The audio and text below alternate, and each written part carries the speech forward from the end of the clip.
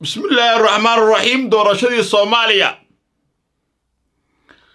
Sida muuqatahi farmaajihii fahad ayaa weli maamulaya. Qof kastoo farmaajihii fahad shar saaxiib la ahaana maanta waxa uu dareemayaa galti. Waxa uu dareemayaa in uu maanta uu mataqaanaa shacabkiisii cuqubadii uu ka galay ay ka soo baxday. Waxaase yaab leh fahad yaasiin inuu kursigii beesha ree ow saacid ee ree ow xasan ou inuu boobo u boobo nin walaashii qabala maxamed weli isku dayayo. Inuu weerar cirkay dhulkaa ku qaaday guddoomiyihii koowaad ee baarlamaanka cabdiweli muudey inuu yidhi diyaaraddaadaan soo ridayaa ee cabdiweli muudey ra'iisul wasaare maxamed xuseen rooblaa garab istaagay. Waxaa garab istaagay ciidamadii xoogga milatariga ee gobolka shabeellada hoose jooga baraawe cabdiweli muudey waa tegiyey. Waxa weeye fashil ayaa ku dhacay ninka la yidhaahdo fahad yaasiin oo nin layidhahdo maxamed weli. U rabay kursigaas. Ceebaha guddiga doorashooyinka ay sameeyeen waxaa ka mid a kursi ree oo saacid ay leeyihiin. Ay waxay ku qoreen saddex oday oo ree ow nuur ah. Ayay ku soo qoreen. Marka fahad waa galgalanayaa waxaa qadka telefoonka iigu jira weriyaha weyn maxamuud carab oo aan kala sheekaysanayo ama lafagur ku samaynaya. Waxa dhacay iyo siday wax u dhaceen xogaannimadiisa aadaad umadsan tahay ustaad daahir calisow runtii fahad yaasiin wuxuu duulaan cad ku qaaday gudoomiye ku-xigeenka baarlamaanka waana arrin runtii siyaasadaysan markaa fiirisid. Maaha waxaa hadda la isku hayo dad badan waxay u fahamsan yihiin ama u fahmeen in gudoomiye muudey shalay uu la shaqaynayay farmaajo iyo fahad oo iyo iyo khayre iyo way wada shaqayn jireen. Waa sax gudoomiye ku-xigeenka baarlamaanka u ahaa oola badana isla qabteen. Ma ahayn muudey muudey iyo khayre waxaa awood badnaa khayre meesha laga bixiyo soomaliya o dhan way ogeed muusan ahayn qof isku waali kara. Nimankan qaabka u shaqaynayan waxay tahay qaab maafiya ah oo khatar ah waana cabdiraxmaan dheere iyo fahad yaasiin. Marka hadda arrinta socota waxay tahay fahad ujeedka uu leeyahay waxay tahay inuu noqdo guddoomiye ku-xigeenka koowaad ee baarlamaanka soomaaliya oo kursiga muudey asi uu qaato. Wuxuu leeyahay uu farmaajo u sheegay arrintan ilaa niman ganacsato waaweyn ah oo somaali soomaalida ganacsatada ugu waaweynaa soo faragelisay oo lafta garen la hadashay farmaajo la hadashay oo tiri muudey hala dhaafo. Laakiin dhibaatada jirta fahad marka dambe wuxuu soo istaagay farmaajona u tagay aniga iyo muudey midna qaado. Oo wuxuu yidhi muudey shalay markii kambeenka aan ku jirnay wuxuu kutaab ugu maray in sheekh shariif uu u codeynayo sheekh shariifna kambeen uu u yahay. Wuxuu yidhi faarax iyo muudey maalintii ay tartameen gudoomiye ku-xigeenka koowaad ee baarlamaanka waxaa qaatay muudey waxaa u codeeyey mucaaradka dhan ayadoo faarax lagu xajilinayo madaxweyne xasan sheekh marka fahad wuxuu taagan yahay uu leeyahay haddii muudey iyo aniga aan u tartarno gudoomiye ku-xigeenka koowaad ee baarlamaanka mucaaradkii oo dhan ayadoo aniga ay igu xumeynayaan waxay u jawaayaan muudey saas aawadeeda waa inuusan muudey soo gelin baarlamaanka. Marka dagaalka meeshaasuu salka ku hayaa wuxuuna fahad uu qortay oo lafta garan uu ku amray in loo qoray ilaa shan xumood sidaa sheegtay saddex ka mid ah waa reerow nuur waa qolada degta hiiraan iyo etoobiya oo qadiid ahaan aaminsan inaysan ayaka kuwa badan oo ka mid a inaysan ahayn shiiqaal oo ashraaf ay yihiin laakiin muudey iyo reerow saacid waa niman aaminsan inay yihiin niman shiiqaal ah. Kursigana hadda waxaad moodaa in loo xoogayo qolooyinkan aaminsan inaysan ahayn shiiqaasha hiraabka iyo hawiyaha inaysan ahayn oo aaminsan inay yihiin qoladan ashraafta inay yihiin.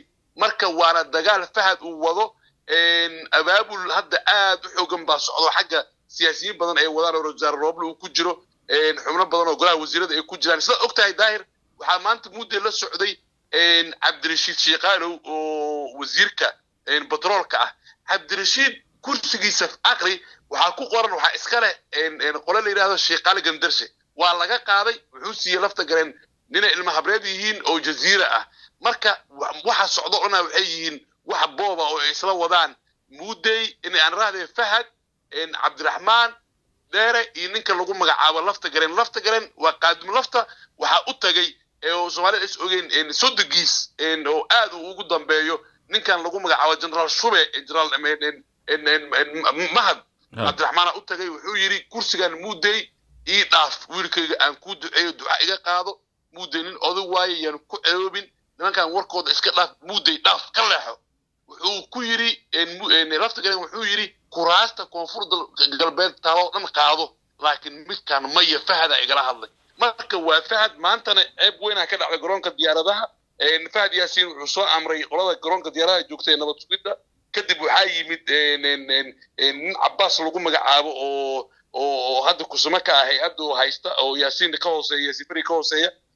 Waxay diideen guddoomiyaha baarlamaanka guddoominka baarlamaanka xataa mudey waxaa loo diiday asaga iyo cabdirashiid iyo ugaaska beesha reerow xasan gaar ahaan reerow saacid inay baxaan inta dadka kale ay xeraan waa loo diiday oo waxaa la yidhi ma bixi kartaan ma aadi kartaan meesha la yidhahdo baraabe. Waxaase hadda warar daahir ay sheegayaan in saacadaha soo socda guddiga doorashada heer federaal iyo ra'isul wasaare rooble ay soo saari doonaan war xasaasi ah oo dad badan oo soomaaliyeed ay ku farxaan waayahay marka saddex oday oo ree nuura in lagu qoro kursigii ree ow saacid lahaayeen ka war arrintaa? Waa xubnood. Xubnaha sida wax soo xulaayo ergada soo xulaayo shanta saddex ka mid ah waa reerow nuur laba reerow saacid ah. Reerow nuur marka kursiyay leeyihiin waa kursiga uu ku fadhiyo ilaahay caafiyadda uu xanuunsan yahay layidhi xogta sida lii sheegay hindigu ku xanuunsan yahay nimankan waa niman maafiya ama ayakaa sumeeyey ma sixreen xildhibaan faarax cabduqaadir reerow nuur kursigaasay leeyihiin waa kursiga uu rabo fahad inuu hadda boobo uu xoogo kursigan waxaa iska leh reerow saacida iska leh. Marka waxaa la daahir soomaalida inay fahmaan reerow saacid iyo reerow nuur ayaa la kala laa reerow xasan ay u kala baxaan. Saacid abkay saacid nimanka la yidhahdo waa nimanka koonfurta soomaaliya dega ee aad taqaanid qoryooley dega afgooya dega shabeellada hoose dega ee hiraabka ah ee hawiyaha ee shiiqaasha ah. Nimankan kalena waa niman ka yimid dhankaas iyo etoobiya waa niman sheeqaalnimada wax ka diida markay rabaanna naqda markay rabaanna diida. Laakiin dhibaatada ugu weynee jirta waxay tahay in kursigii hadda ay lahaayeen abkay saacid ay soo xulayaan niman la leeyahay waa nabadoono oo reerow nuur ah oo fahad meesha uu keensaday oo raba in ninkan maxamed weli la yidhaahdo ee fahad xididka ay yihiin in kursiga ay u boobaan marka waa arrin serious ah oo la wada og yahay. Xalay waxaad ogeed ugaaskii guud ee beesha reerow xasan ninka hadda hadlaya waa ugaaska guud. Sidaad og tahay sada cala jala waa ninka uu yidhi hadda ka hor. Ugaaskii markii reerow xasan ugaaskii reerow xasan oo saxiixa lahaa faarax faarax isfahmi waayeen ugaas kalaa loo sameeyeynin uu ula jeeda xildhibaan faarax cabdiqaadir ugaaska guud ee reerow xasan waa ninkan reerow saacid laakiin marka dambe oday dhaqan kale la sameeyey faarax iyo ugaaska isku dhacsana aawadiisa kaas ayaa u soo xulaya reerow nuur. Ugaaska saxda ee reerow saacidna waa ugaaskan. Marka waxaa jira boob cidlo ah oo aan loo meeldayin oo fahad rabitaankiisa mooyaane wax kale aan shaqaynaynin. Waxa fidnada wax ka wada ee wax ka hurinaya ee dhibaatada ka shaqaynaya oo maskaxda iyo wax abaabulaysana daahir soomaalida waxa laga inaysan soomaali badan aysan ogeen waa cabdiraxmaan dheere ninka lagu magacaabo cabdiraxmaan dheere oo axsan dhuux la yidhaahdo waa fidnada iyo maskaxda ninka muudday sida weyn ula dagaalsan ee fahad soo shitaaraya ee dhahaya waxba ma naqan kartid ma socon kartid waxa ku hortaagan waa muudday waxaa laga soo wariyay daar inaan ku sheego berigii hadda ay isdagaaleen berigii ay isku dhaceen anraadi farmaajo iyo wasaar robre is qabteen oo fahad xilka laga qaadayey oo buuqa badan dhashay oo kiiska igraam tahliil lafta galenaya waxay isla joogeen fahad turkiga marka wuxuu ku yidhi ani waxa ila dagaalsan ma aha rooble iyo habar gidir iyo soomaali kale ma aha. Qofka ani ila dagaalsan waa muudey oo fidnada igu kicinayo oo wax abaabulayo oo waxaan gadaal ka riixayo.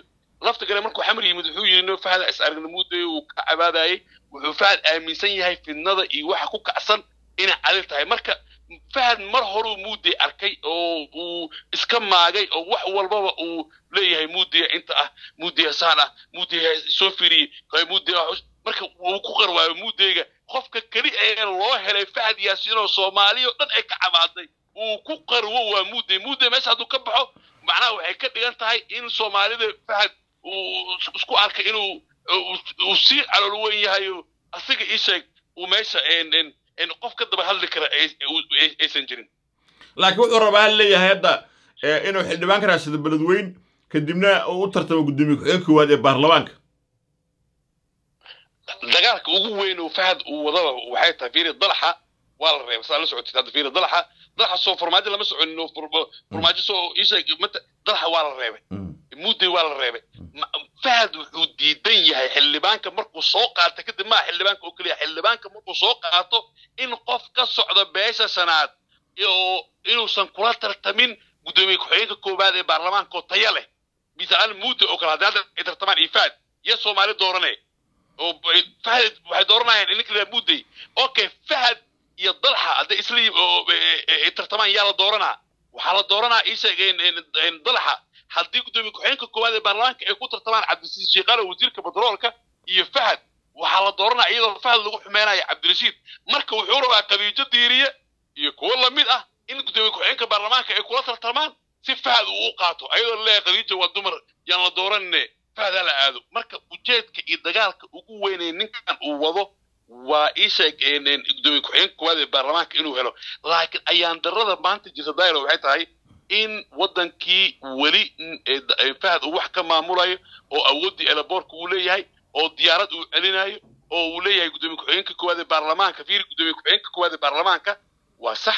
Hadda xildhibaan uu raadsanayaa. Laakiin waa guddoomiye ku-xigeenka koowaad ee baarlamaanka weli. Lama dooranin guddoomiye ku-xigeen iyo guddoomiye iyo guddoomiye baarlamaan weli lama dooranin. Weli xasaanad uu leeyahay su'aalaha marka soomaalida waxaa la rabaa in la fahmo. Sharciga u banaynayo kulana jiis jiis mariixaan oo soomaaliya wax teetan uu ka hayo iyo wuxuu ka yahay aan jirin inuu hub uu qaato diyaarad uu saarto ciidan uu dhulsamareeb la aado guddoomiye ku-xigeenka koowaad ee baarlamaankana istaafkiisa iyo ciidankiisa loo diido oo la yidhaahdo diyaarad lama raaci kartid baraayo lama aadi kartid. Sharciga banaynaya sharci noocee waay? In fahad ciidan iyo hub uu qaato uu beledweyne la aado asagoo wax teetal ah oo soomaali wuxuu ka yahay maanta aysan jirin oo lacagtaas qadar uu ka soo qaaday iyo maskaxdan farmaajo iyo nimankan uu ku haysto. Mooyaane aysan jirin uu- inuu ciidan qaato beledweyne uu la aadayo mudday u diidayay eh, sharci noocee waay marka waxa socdaa waxay tahay wax maafiinimo ah laakiin wasaare roble ayaa laga rabaa inuu go'aan qaato. Daahir wasaare roble waxaa laga rabaa in uu amar uu soo saaro oo ah in kursiga muudey la joojiyey kursiga en hebel oo loo diiday socdaalka inuu meeshaas aado ama xildhibaan cabdirashiid ha noqdo ama qof kale inuu joojiyo. Ra'iisul wasaare roble wuxuu leeyahay awoodda caawa wuxuu leeyahay oo dad badan oo soomaaliyeed aysan fahansaneen ee in uu dhaho kursiga muudey oo kursiga raqamka noocaas ah waa hakinay doorashadiisa lama qaban karo inuu asi ra'isul wasaaraha uu dhaho maadaama muwaadin loo diiday in garoonka muqdisho uu ka duulo si uu u tartamo. in, in loo diiday. Wuxuu ra'isul wasaaraha awoodaa sidoo kale inuu dhaho kursiga laguma aamini karo kursigaas in lagu qabto baraabe muqdisho u soo wareejiyey afisyooni ra'isul wasaaraha u awoodaa cid ka daba hadli karta ma laha. Maya laakiin hadda marka la fiirsho baraawe ciidanka haysta ciidan habar gidri weeye. Waa ragga jooga mataqaana cabdullaahi xalna weeye. Waxaan u malaynayaa inuu hadda awood ku lahaynin gareen iyo iyo fahad yaasiin ay uga hadli karaan arrimahaas. Marka waa maasan tahay arrintaas waa arrin qadiyado weyn waa arrin soomaalinimo taabanaysa daahir waxaan rabaa inaan ku sheego hal mid ciidanka baraaba joogoo dhan iyo saraakiisha meesha joogta dhammaantooda daahir waxaan rabaa inay ogaadaan dadka waa saraakiil fuujignaan badan ee ka muuqato. Aad qadiyadda ay ugu weyn tahay. Muhiimna ay tahay soomaalida iyo reerka ay ka dhasheen in la taageero.